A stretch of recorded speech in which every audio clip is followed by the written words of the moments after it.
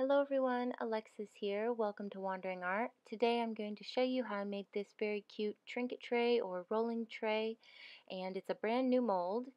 This glitter is the glitter that's used around the rim of the tray. It is Mirror Mirror glitter and it's from Laura's Art Corner.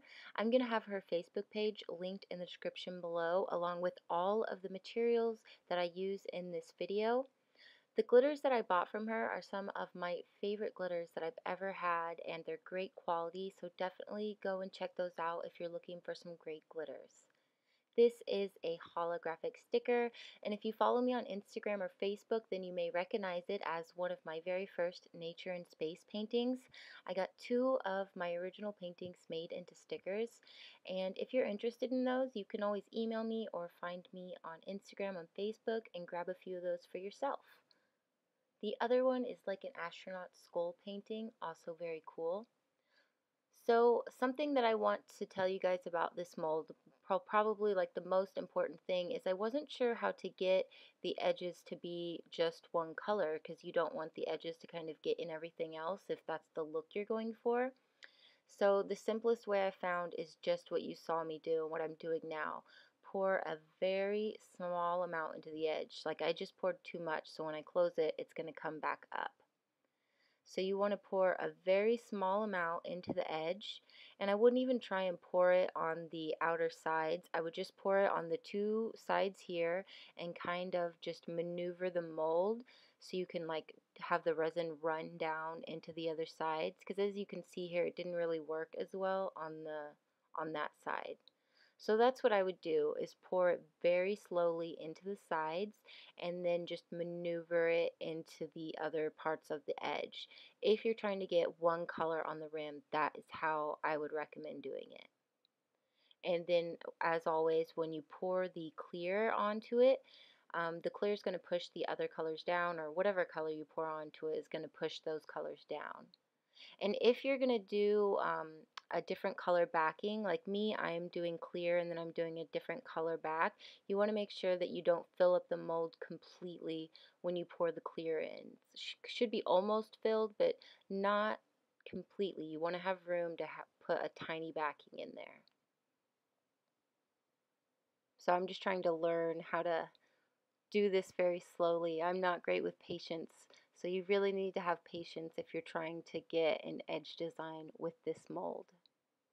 Oh, and I was going to mention this mold. I did get this mold from AliExpress, and it took almost three months to get here. And I was very sad because not even a day after I bought this mold off AliExpress, I was on Bear Mountain Designs website and I saw that they had this exact same mold for the exact same price, exact same shipping, and it would have got here in probably less than a week. So, um, I, you can find it on AliExpress. I don't know the exact shop, but you can also find it on Bear Mountain Designs, and I am going to link their website in the description below, so you can go and find it there if you are interested in this mold. I have been interested in this mold forever. I'm so glad it finally arrived, and I'm so glad that the first piece that came out of it was so pretty. So I tried to wipe off some of that glitter just because when I put in the sticker and the flowers, I didn't want there to be a lot of glitter in front of the sticker or the flowers. So that's why I tried to take some of it out. And then when I put the sticker in, after I pour the resin, I usually like to wait um, like 10 or 15 minutes depending on the cure time of your resin and then give it a slight torch and then put my sticker in. And you always want to make sure you push the sticker down and you kind of do what I'm doing to it right here because if there are bubbles in front of it you can kind of push those bubbles out and the cool thing about a clear mold for stickers is you can pick this mold up and you can see underneath of it, you can look at it and you can see if there are any bubbles under there. And if there are, you can push those out. Same for the flowers. I didn't have any trouble with bubbles at all in this mold, but that's what you would do is you push down and make sure that you're pushing out any bubbles that are underneath of it. You guys can see my leaves are covered in resin. I edited that part out, but I put the leaves in first, and then I was like, wait a second, you know, I want my leaves to be kind of hidden behind my flowers, so I had to take them out and then put the flowers back in. And um, I did leave a tiny bit of room because I am going to make a backing for this. I wanted it to be like a space backing. I didn't want to leave it clear because I thought it would look kind of weird with the dark sticker, so I wanted it to have a dark background too. So while I'm kind of putting these flowers in here, I want to mention to you guys that I started a Facebook art share group. So they all saw this little trinket bowl this morning when I posted it on there. And I'm going to be posting some special um, previews on this Facebook group of a really pretty white and gold geode that I'm working on. It's going to have a really cool twist to it. I'm very excited to work on this ge geode and to share the process with you guys and see what you guys think of it. So if you want to join the Facebook Art Share group, it is going to be linked in the description below. So come and join us on there. I am going to be doing milestone giveaways um, for just reaching um, different numbers of members and all kinds of things like that on the Facebook Art Share group. So now that this is done, I'm just showing you guys um, what colors I'm using to make the back because I my lighting was just awful and I didn't want to bring in the other light for like two seconds. I'm literally only using 20 milliliters to pour a little background on this and you guys saw I used mermaid glitter, black opal glitter, blue ink, and a tiny bit of deep purple from Le Rez.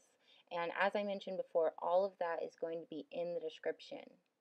And um, if you're wondering, for the tray in general, I poured way too much resin. I poured 100 milliliters, and I don't know why I thought, I didn't know, I thought it was deeper than it was. I want to say it only took about 50, um, 50 milliliters to fill the mold, and then I used another 20 to do the backing. And that may even be a little much, what I just said, because I don't know the exact amount of the original mold since I poured too much. And here it is. It's so pretty, you guys. I did have some bubbles in the um, in the clear spots there, and I think that was just because I didn't know how to pour the edges, so I was messing with the edges too much. So that could be why the bubbles were there. I also tried a new resin um, Total Boat resin, and I really did like the resin, but it did have a strong smell, and I don't know about the bubbles because I had to mess with the mold so much. That could totally be my fault. But when I test it again, I'll go back and give a full review on the resin. Here's the finished piece. I'm completely in love with it, you guys. I may be a little bit too proud just because it has my own sticker in it, but I really think it turned out really pretty. Let me know what you guys think, and I will catch you all later. Bye!